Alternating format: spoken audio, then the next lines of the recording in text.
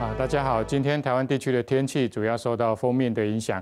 啊，所以各地区的一个天气来讲，北部还有东半部。啊，今天都有下雨的一个情况。那中南部地区的话，白天的云层比较少一点，所以在今天中南部地区感觉天气比较炎热一点。那不过今天在花东的啊海岸山脉附近的，今天有比较大的降雨出现。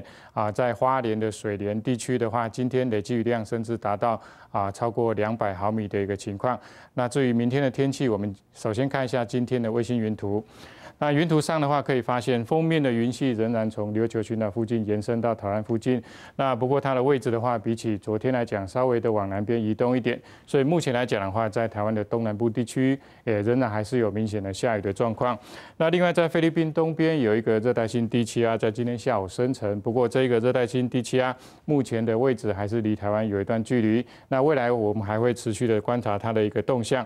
那至于明天的预测天气图的话，可以看到在封面的位置仍然还是在台湾附近，所以在台湾附近来讲，还是有一点东北风的一个情况。所以在天气方面来讲的话，明天的一个温度稍稍的比今天还要下降一些啊，但是这一种幅度还是不大。在天气方面，明天还是属于比较炎热的一个情况。那特别还是要特别啊注意下雨的一个情形，气象局仍然还还是发布大雨特报啊，特别是在基隆北海岸地区以及东半部地区，从今天到明天还。是要注意有这一种局部性的大雨或豪雨的现象。那中南部地区的话，在明天的午后也要留意有这一种局部大雨出现的一个情形。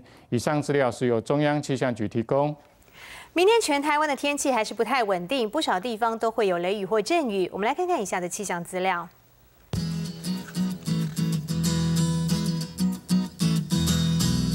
好，北部的基隆、台北、桃园和新竹都是多云有雨，气温最低二十一度，最高二十八度。中部地区的苗栗也是多云有雨，其他地方可能会有雷阵雨，气温是二十一到二十九度。